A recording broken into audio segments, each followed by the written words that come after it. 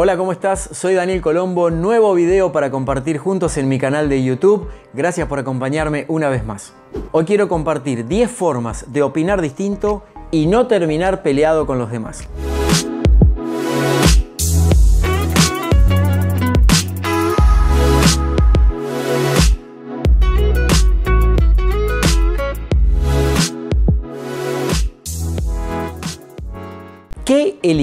¿Tener la razón o ser feliz? Esta frase refleja una creencia sumamente arraigada en América Latina y con mucho énfasis en ciertos países. Si no piensan como yo, todos los demás están equivocados. Las diferencias de opinión siempre son saludables y si se producen en el marco de un sano intercambio pueden resultar altamente positivas para las dos partes. La resolución de conflictos convencional la empatía y el ponerse en los zapatos del otro muchas veces se transforman en un excelente manual de buenas intenciones, porque en la práctica desde las fuerzas políticas opositoras hasta los ciudadanos, polarizan y se apropian de sus opiniones como si fuese el único bastión disponible. Por eso es conveniente mirar en perspectiva la situación para centrarse en el resultado mayor para el bien de todos y no de alguien o un sector en particular.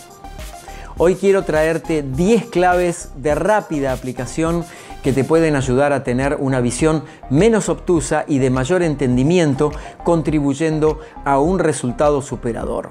Primera clave, no hay verdades absolutas. Siempre hay puntos de vista sobre prácticamente todas las cosas.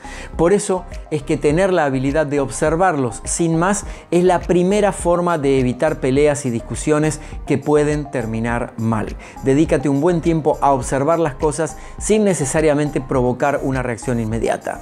Segunda forma de opinar distintos y no terminar peleados. Cambia de posición cambiar de posición, incluido físicamente si estamos frente a frente con la otra persona. Movernos sutilmente, adoptar algunos gestos de la otra persona, ciertas palabras que nos dice, un tono de voz para acompasar, ir al compás eh, de la otra persona con la que tenemos una diferencia de opinión es una muy buena herramienta para ganar en empatía y estar más cerca de un cómodo punto intermedio. Tercera clave, aprender a ceder. Ambas partes sabrán que el mejor resultado es el que se obtiene en un punto de encuentro y acuerdo. Por lo cual, si yo me quedo cerrado e inflexible, es muy difícil destrabar cualquier diferencia.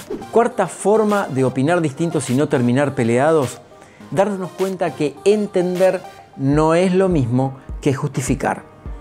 Si la disputa viene de un hecho que realmente yo no puedo dejar pasar ni dar por terminado, una buena estrategia es enfocarme en entender que no es lo mismo que justificar ni validar la posición que manifiesta del otro lado la otra persona.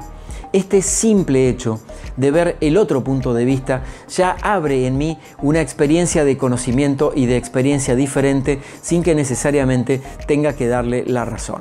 El quinto punto es que necesito contar con toda la información, sobre todo en discusiones intangibles o de matices ideológicos. Rara vez ambas personas cuentan con los mismos elementos de análisis, se parten de bases completamente diferentes, por lo que acceder a información objetiva y que pueda ser evaluada en conjunto podría traer un mejor y pronto arribo a un razonable punto intermedio más allá de las disputas. Te aseguro que en lo personal he intervenido en situaciones donde en empresas grandes había que mediar en un conflicto y ambas partes tenían distintas versiones impresas de un mismo documento. Quiere decir que cada cual tenía su razón en la mano y ningún elemento en común sobre el que sentar las bases para dirimir el motivo de ese encuentro del día. La sexta clave es pensar más allá. Hacernos preguntas sencillas como por ejemplo, ¿es esto fundamental? ¿Qué parte de mí se juega en esta discusión? ¿Qué pierdo si no salgo ganando? ¿Es relevante para ambas partes? ¿Cómo puedo marcar mi posición sin agredir y sin rebajar a la otra persona? Estas preguntas serían fundamentales que te las hagas a la hora de encarar las diferencias. El séptimo punto para opinar distintos y no terminar peleados es mentalizarnos de antemano en que estamos disponibles para lograr acuerdos. La base es preparar una diferencia de opinión sobre la base de la necesidad real de alcanzar el mejor acuerdo posible que deje a las dos partes satisfechas, el conocido ganar-ganar de la programación neurolingüística. ¿no?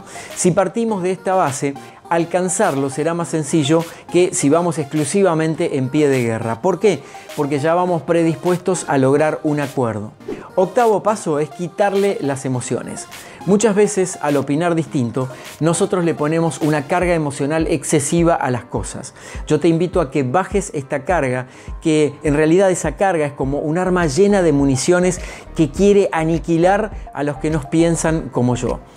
Eh, te diría que bajar esta carga es muy saludable para encontrar un punto de encuentro incluso en medio de las discrepancias.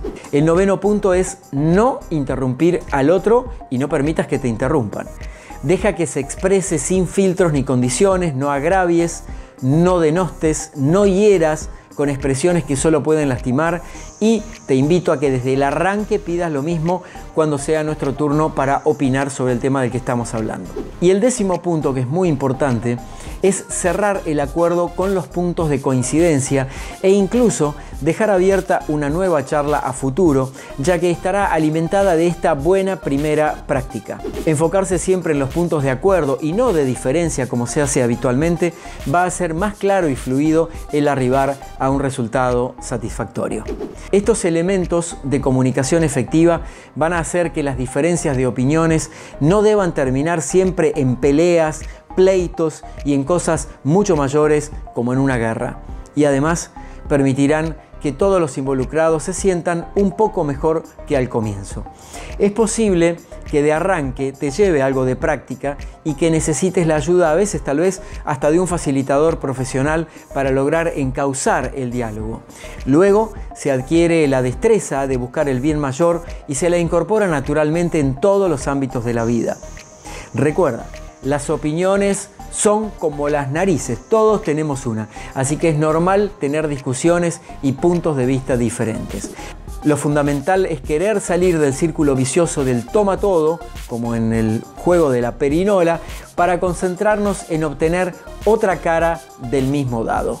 Y esa cara dice, todos ganamos. Te invito a aplicar estas 10 técnicas para opinar distinto y no terminar peleados. Muchas gracias por haber visto este video. Te invito a darle me gusta a nuestro canal de YouTube y a estar en contacto a través de todas las redes sociales y de mi página web. Soy Daniel Colombo, soy coach y este es nuestro espacio de coaching, motivación, liderazgo y productividad. Hasta la próxima.